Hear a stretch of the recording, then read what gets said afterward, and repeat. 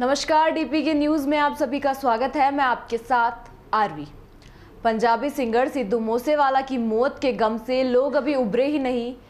कि बॉलीवुड के जाने माने सिंगर के के यानी कृष्ण कुमार के निधन की खबर आ गई। एक बार फिर से लोगों की आँखें नम हो गई है। के के ने कोलकाता के एक लाइव कॉन्सर्ट के बाद अंतिम सांस ली।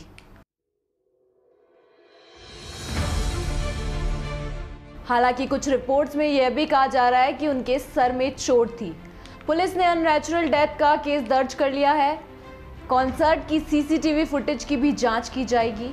सिंगर का पोस्टमार्टम उनके परिवार की सहमति के बाद किया जाएगा।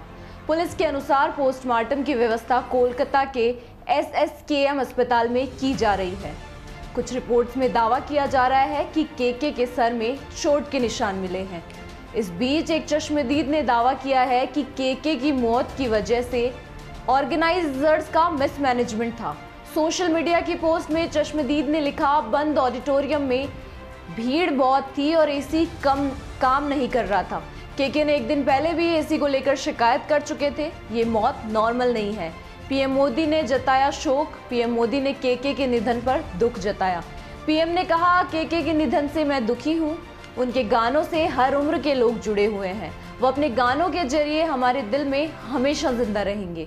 ईश्वर उनके परिवार को शक्ति दे। राष्ट्रपति रामनाथ कोविंद ने भी केके के निधन पर शोक जताया। केके के निधन से बॉलीवुड इंडस्ट्री का दुख का माहौल बना है। अभिनेता अक्षय कुमार, सिंगर अरमान मलिक, अभिनेत्री सोनल चौहान और मुनमुन दत्ता समेत कई हस्तियों ने उनके निधन पर दुख जताया।